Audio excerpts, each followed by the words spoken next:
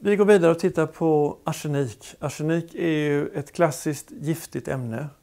Eh, det känner vi igen ifrån Agatha Christies eh, olika böcker där eh, lömska personer har förgiftat sina respektive med arsenik till exempel.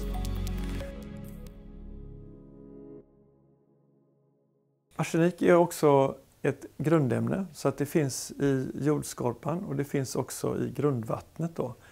Eh, men inte i sådana mängder att det vanligtvis är, är, är giftigt då att, att, dricka vatten. Men det finns där och det kan på sina ställen vara så mycket arsenik att, att man inte bör dricka vattnet. Då, då. Eh, det har också tidigare använts som bekämpningsmedel mot insekter och mot ogräs. Eh, det är det här klassiska vita pulvret som, som vi har liksom lärt oss att det kan vara ett giftigt ämne. Det är arsenik.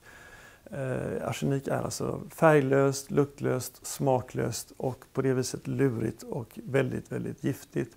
Och ungefär 100 milligram är en dödlig dos med arsenik.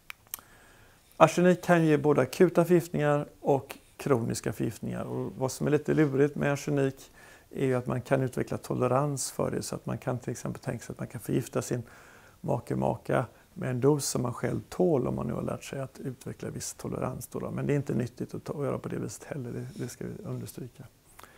Här ser vi en bild som visar på höga halter av arsenik i grundvattnet. Så det, det, finns stora variationer av arsenik runt om i världen. Och ett sådant ställe där det är höga halter av arsenik i grundvattnet är Bangladesh. Eh, och det finns ett svenskt forskningsprojekt som pågår i Bangladesh eh, där man åker runt och, och kontrollerar halterna av arsenik i brunnsvattnet. Då. Och där har man faktiskt fått stänga flera olika brunnar då eh, och försöka lägga locket på. Men detta är väldigt svårt att göra ute på landet och det har varit i väldigt fattiga regioner därför att stänger man av brunnsvattnet så stänger man ju ner all, all, all form av Eh, Eh, all förmåga till överlevnad. Så det, det, har, det, måste man ju då supplera med vatten på annat sätt. Då. Så det har varit ett ingrepp som också har vållat eh, irritation och ilska då lokalt om man inte förstår varför man, man eh, stänger ner brunnsvattnet. Då. Man kan alltså utveckla tolerans. Man kan också få en kronisk förgiftning dock om man får i sig detta kontinuerligt i för höga doser. Och då kan man få något som heter en exfoliativ erytrodermi. Man får mörkfärgad hy men man får också Eh, hud som liksom flagnar och faller av. Då, då. Andra problem som hör till arsenikförgiftning är halsont, magont. Då. Eh, och detta är någonting som många gånger folk undrar, är jag förgiftad av arsenik och sådär och så vill man att ha det, det undersökt och då, då, då, kan man titta till exempel på hårprover då och se om det finns arsenik i håret. Då. Eh, och detta är gjort både på levande och döda personer och till exempel eh, är det ju känt att eh, Napoleon Bonaparte Eh, tror man dog av arsenikförgiftning. Eh, och där har man då kunnat undersöka eh, bevarade hårrester av Napoleon och, och, faktiskt har man sett så pass mycket arsenik att det är, är troligt då att han faktiskt dog av arsenikförgiftning. Sen om den här klassiska gesten när han höll sig för magen så här, att det berodde på arsenikförgiftning, det, det är det förstås ingen som vet, men vem vet, kanske. Akut arsenikförgiftning ger yrsel, huvudvärk, förvirring.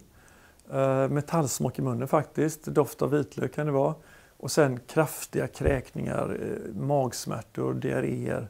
Eh, kan man ju även förstås se på väldigt många andra förgiftningar, till exempel förgiftningar av olika giftiga svampar Det ger ju också det här med kräkningar, magsmärtor och diarré. Så det är ospecifika symptom. Då, då. Och vid arsenikförgiftning, kall, fuktig hud, kallsvettning hör också till. Och sen kardiovaskulära symptom med blodtrycksfall, cirkulationssvikt, chock och död. Behandling av arsenikförgiftning är väldigt svårt. Det finns egentligen inget jättebra sätt att behandla det på. Man kan försöka med förstås tömma magen, ge kol. Man kan också försöka skölja igenom magen, vilket är bättre än att ge kol. Så att man försöker att skölja igenom, det kallas ju för tarmirrigation eller på engelska whole bowel irrigation. Så att det är en slags laxering när man får dricka flera liter sån här Laxabon för att skölja igenom och helt enkelt försöka få ut allting. Och det gäller även vid andra tungmetallförgiftningar, till exempel tallium också, att man försöker att spola ut allting som finns i tarmen. Då. Sen är det allmänna intensivvårdsprinciper med rehydrering, chockbehandling förstås. Man kan försöka med E-vitamin och sen kan man försöka med kelatkomplexbildare som heter DMSA och DMPS som också kan användas vid andra typer av förgiftningar, till exempel förgiftning Då. Men, men eh, det är svårt att behandla akut eh, eh, arsenikförgiftning eh, och det är hög dödlighet om dosen då bara är den här eh, som vi har nämnt, över 100 milligram i alla fall. Så kommer vi till tallium som kanske man kan säga är gifternas gift. Då.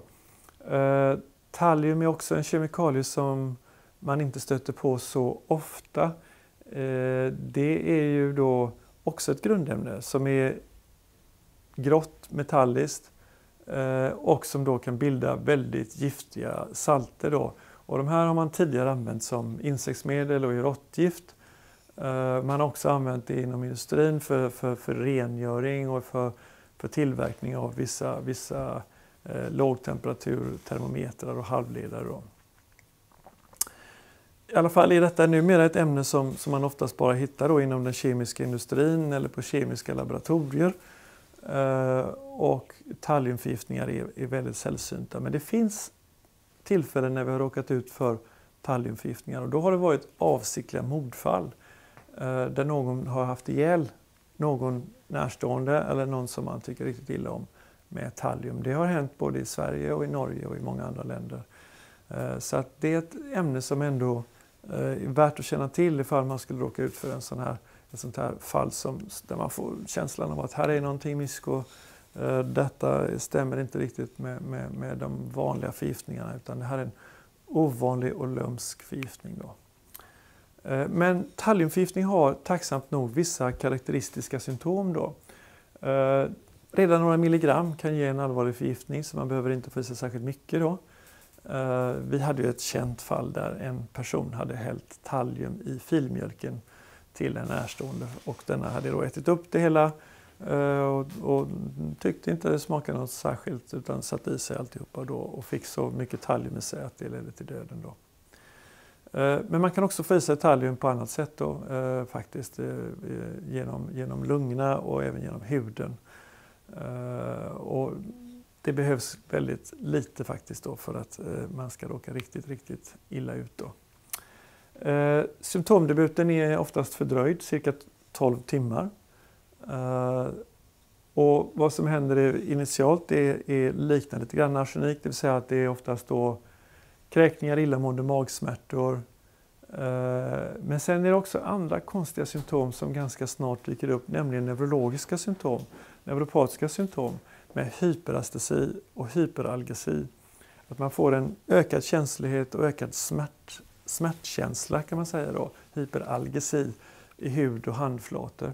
Och så småningom så utvecklar man också karaktäristiskt ett palmarerytem i händerna så att handflatorna blir röda och inflammerade och även i fotsulorna.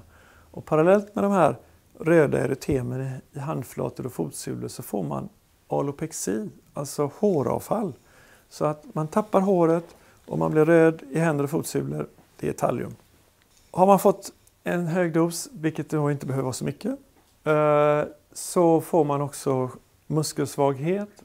Man kan få pareser, motoriska bortfall, man kan bli helt förlamad och sen kardiovaskulära symptom som oåterkalleligen leder till döden. Eh, detta är ganska så svårbehandlat och en mycket lömsk och farlig förgiftning. Då. När man väl kommer in i behandlingen så kommer man oftast in för sent för att det här med ventrikeltömning och kol ska kunna funka. Man kan ta det under övervägande om man tror att det finns kvar i mag-tarmkanalen men ibland kommer de här fallen först efter flera dagar och då, då lönar sig inte det där särskilt mycket. Då. Eh, men det finns faktiskt eh, några antidoter. Då. Det finns något som heter Berlinerblått som, som man kan ge oralt som då eh, sägs öka eliminationen åtminstone då utav det här. Då. Så att det finns några, några eh, effektiva antidoter. Och Berlinerblått är kanske ingenting som man har till hands utan man bör vända sig till Giftinformationscentralen man kan kolla i antidotregistret och se var finns Berlinerblått någonstans och försöka få fram det. Det kan vara ett sånt antidot som man behöver flyga in då.